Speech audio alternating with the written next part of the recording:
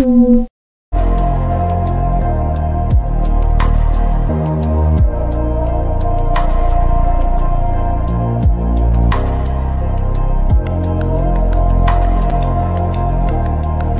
guys welcome to my channel and another series of AG Studio. So today we'll be drawing the pictures we can see on the screen.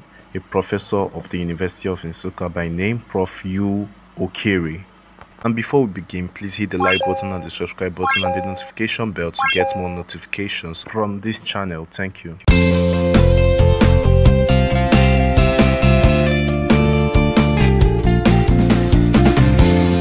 So guys for this video you'll be needing your graphite lead pencils and your charcoal pencil then your brushes and blending tools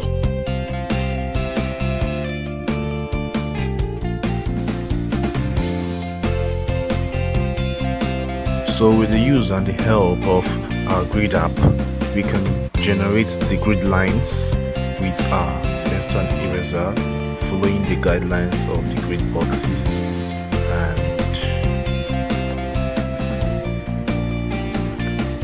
And little by little you calculate the up and the down side of your paper and you trace and then you formulate your grid boxes alright I'll be using 9 grid boxes at the horizontal and 11 grid boxes at the vertical part of my drawing paper. Addition of diagonal grid boxes is also important for a big drawing or a big portrait. And the next thing I'll do is to trace the picture which is being done now the photo of the person next will be to shade. But before shading we just have one thing we should do before we commence with the shading and that will be to highlight the tracing of the pencil which we used and also the grid boxes have little effects of the grid boxes on our shading. Done with that next we will to shade and I'll be using my hatches and cross hatches method of shading to generate uh, foundational shading. Next I'll blend it with my blending cloth which is giving me a uniform blending shading which I need. After that I'll be using my pencil and mono zero eraser to create some highlights to make it look realistic and that will take me a lot of time but trust the process you get through it.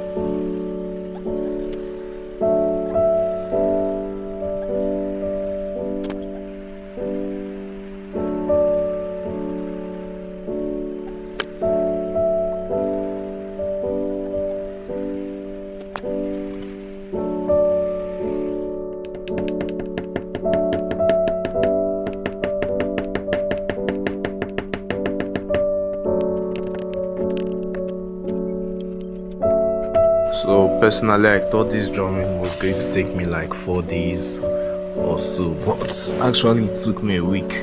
And doing this face and making it look hyper realistic was one of my great achievements because I wanted it to actually look real and presentable. So I put my best into it and with time it began to look realistic. And I kind of like it. I hope you like it too. So just watch this is my white cotton wool. I uh, changed the old one and fixing a new one.